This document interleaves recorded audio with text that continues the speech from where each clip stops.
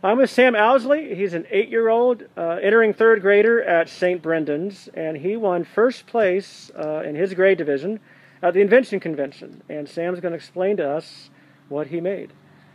Go ahead, Sam. My invention turns on my faucet because every time that I wanted to, my bushes were in the way and I was beginning to kill them and scratch me up, and I didn't want to do that anymore, so I invented the handy handle helper.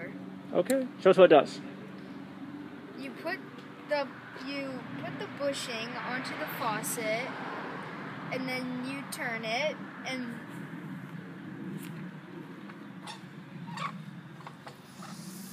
and the water turns on. And when you want it off, you turn it the other way, and it turns off. Okay. And before that, you had to either climb through that lilac bush or. Uh, Yep. Yeah, okay. Okay, uh, you can read more about this at thisweeknews.com. Thanks, Sam.